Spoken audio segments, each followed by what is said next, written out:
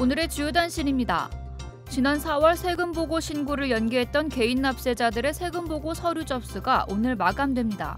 연방국세청 IRS에 따르면 1,400명 이상의 납세자가 연기 신청을 했으며 마감일까지 신고하지 않으면 매달 납부해야 할 세금의 최대 25%의 과태료가 부과됩니다. 한미연합회 모의 유엔 학생들이 지난 토요일 열린 컨퍼런스에서 약 700명의 학생들과 경쟁을 벌여 모두 6개의 우수상을 받았습니다. 한미연합회 모의 유엔은 매년 중고등학생을 대상으로 지구촌 이슈에 대한 자료 조사와 대중 연설 등을 통해 지도자를 육성하는 리더십 프로그램입니다. LA 한국문화원과 전미 바둑협회가 주최한 남가주 오픈 바둑 대회가 지난 주말 성황리에 개최됐습니다. 입문부부터 고단자 오픈까지 모두 6부문에서 경기가 진행됐으며 대회에는 선흥욱 프로구단과 나종훈 프로 8단이 팬들과 함께했습니다. 맥주 가격이 지구 온난화로 상승할 것이라는 연구 결과가 나왔습니다.